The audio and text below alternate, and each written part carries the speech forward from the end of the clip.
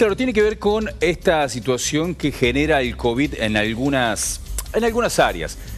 Puede generar negocios legales, por ejemplo, vinculados a las videollamadas, pero también genera estos negocios truchos ilegales de los test han aparecido en hoteles, en páginas web, en la calle, en distintos lugares. Y en México se empezó a detectar mucho, y lo vamos a mostrar en algunas placas, este aumento del negocio de los test truchos para detectar COVID. Estos son los datos, mira. Por ejemplo, en Marketplace de Facebook, ahí se venden pruebas de antígenos a 130 pesos.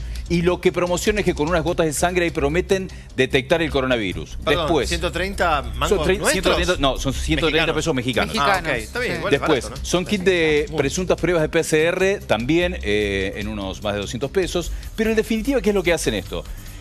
Hay un aumento de pedido de resultados negativos de COVID no mayor a tres días de viajes. E, eso es lo que ocurre. Entonces, empiezan a pedir en muchos lugares que tiene que ver para el ingreso a un país o en los distintos aeropuertos estos test que a veces son difíciles de conseguir. Entonces, ¿qué aparecen? Aparecen estos negocios ilegales para cubrir esa demanda.